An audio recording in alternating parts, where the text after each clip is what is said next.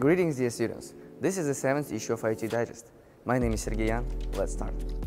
Hey students, we are pleased to announce the first trip of the spring, organized by our trip team.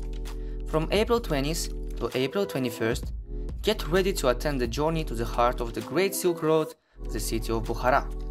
Moreover, prepare to have a wonderful evening with an open-air cinema organized by Cinematheque. Let's become a part of such an amazing journey. Calling all Korean culture enthusiasts, Tashkent Tokyo Tinjong and IUT is thrilled to announce the opening of the language courses. All the information is available on the channel. Our university is home to a multitude of gifted and ambitious students.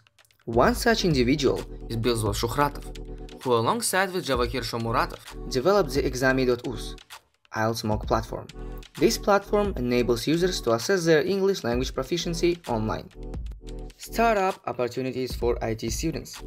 Exciting news for AI enthusiasts.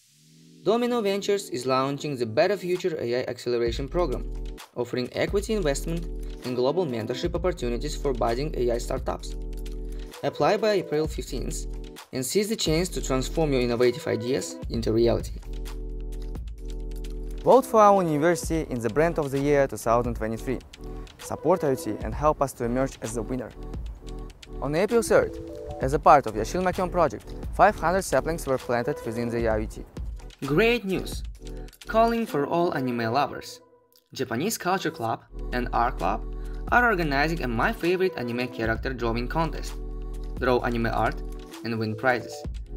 Follow their social media to get more information. Exciting news for students seeking employment.